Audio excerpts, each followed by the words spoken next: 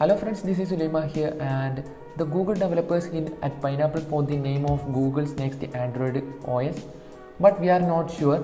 Everything we know about upcoming Android 9.0 operating system including when Android P is coming out. Since the early days of Android update have been named after sweet treat and in alphabetic order.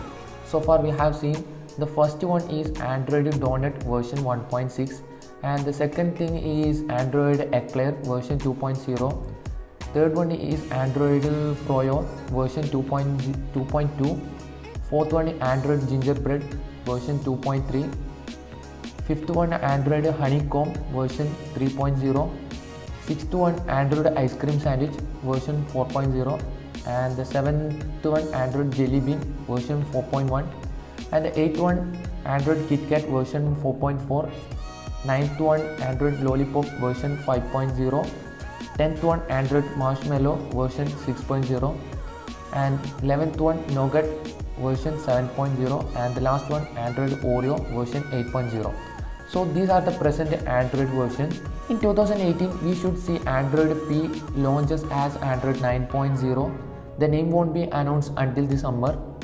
But that doesn't stop us having guess as to what it could be there are already rumors the name could be Android Pie, Android Pecan Pie or Android Pumpkin Pie thanks to a reference to Android Pie within the Android open source project. But that doesn't sound very Google. Google developers have also begun dropping hints on Twitter and the binary code picture take you to the google.com slash io website where you will be able to use Street View to explore reception area of a Google developers building. There are various puzzles to solve and lock away in second. You will find the pineapple cake.